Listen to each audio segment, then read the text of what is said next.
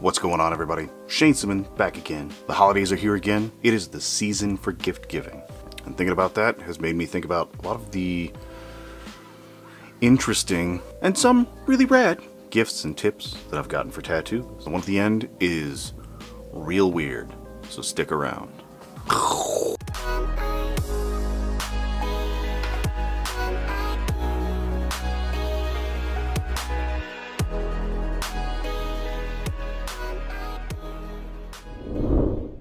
So I've gotten some seriously rad stuff as tips for tattoos.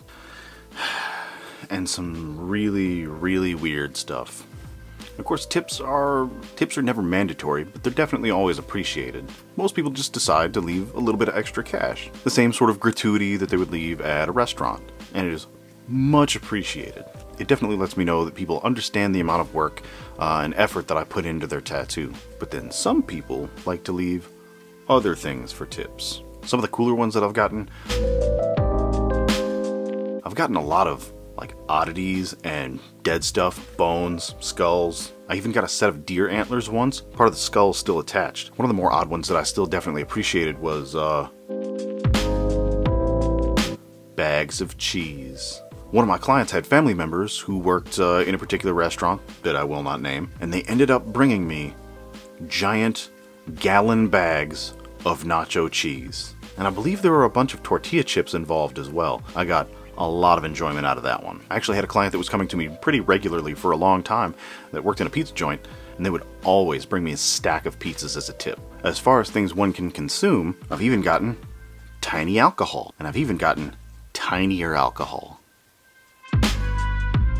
Knives. I've been tipped in a lot of knives, like fixed blade military knives, pocket knives, all sorts of stuff, just all types of knives. One biker guy brought me what I'm pretty sure was a really expensive cigar. Unfortunately, I don't smoke. And even more recently, one of my good clients understands how hard it's been uh, for a lot of tattoo artists since all this COVID stuff started going down to even find basic supplies like gloves and paper towels. So they brought me a giant pack of paper towels. And even something like that really does mean a ton to me. Uh, even the tiniest tip means the world to me. Something as simple as a little bitty guitar pick. This one is uh, from tattooing the bassist of the band GWAR. One of the times that I worked on him, he left me a stack of these little guys and some merch. I like keeping those around because he's a seriously rad dude. And I've even gotten the most important pick of all, the pick of destiny. I got the pick of destiny from a guitarist that works as a stagehand during the day, and he always gets super cool work.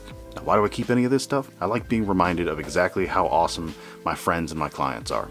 And one that I really didn't expect was a tiny little guitar. The guy that left me that was retired from the Navy, and after he got out, he took to uh, collecting tiny little guitars. I thought that was pretty cool. I do remember one tip that was kind of unintentional.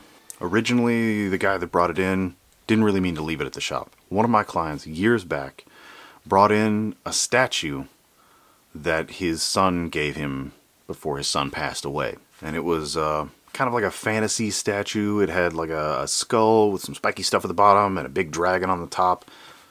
And he wanted me to, to draw this for him and wanted to, uh, wanted to make a rib panel out of it. I was stoked about this. Stoked. And he brought it in and he told me, he told me the importance of it to him and told me to keep it safe. But unfortunately, that was kind of out of my control. It just so happens that as soon as he brought that by, uh, we had a crazy snowstorm, an ice storm, that shut everything down. And during this ice storm, we had former employees of the tattoo shop that I was working in break in and destroy everything. And unfortunately, one of the things that they destroyed was that statue given to my client by his deceased son. So I had to make the call uh, to tell that guy that it was just shattered. It was in so many pieces that we really couldn't put it back together very well. Unfortunately, I haven't seen him since, and I kind of understand. He just told me to keep what was left of the statue, and I haven't seen him since, unfortunately. On a much lighter note, I even got a watch from one of my clients at one point. As I was tattooing a sleeve on one of my regular clients, I noticed his watch, and about halfway through the session, told him it looked pretty cool. So at the end of the session, he just looks at me and says, Oh, yeah, here, here you go, and takes the watch off of his wrist and gives it to me.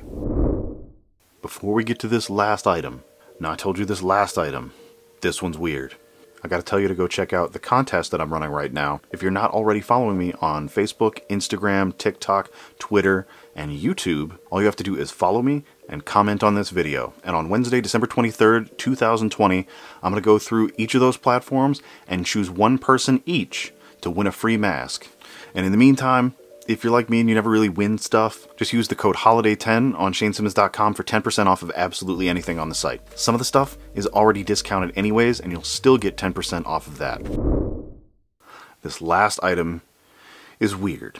It started on a day where I was where I was at the tattoo shop by myself and it was just super quiet. The entire day was just dead. There was no one in the parking lot. You didn't really see anybody driving on the road. There was just no one out anywhere. And out of nowhere, this guy comes bumbling around the corner, pushes into the tattoo shop, and I could already tell something was kind of off. He just had kind of a strange personality, which is fine, but he was just a little off. And while trying to help him figure out what kind of a tattoo he was looking for, he started crying several times, so I asked him what was wrong. And he ended up telling me that his father passed away, which I totally understand. Grief does weird stuff to people. So he's still kind of crying a little bit. He's definitely dealing with some stuff. But then when he sat down in my chair, his entire demeanor changed. As soon as his butt hit that seat, like somebody flipped a switch. Hey, how you doing? Everything okay? It's great, right? It was real weird. But people seem strange sometimes. That's fine. Not my place to judge. And as we're finishing up this tattoo, I get him bandaged up, tell him his aftercare instructions, everything seems fine, and he hops up out of the chair, and I smell it. I was so taken aback that I thought, I thought for an instant someone had just ripped one. But no, no, that, that second wave, that wall hit me. That man pooped himself in my chair. Did not acknowledge it at all, but I was just shocked. As one does with certain experiences working in a tattoo shop, you just push it out of your mind. I didn't think anything of it. It was just, meh. That was just one of the weird days in the tattoo shop. Whatever. Till about a week later, I was in the shop with one of my coworkers. She was at the front counter, and I was in our cleaning room sterilizing supplies, and I heard the door chime.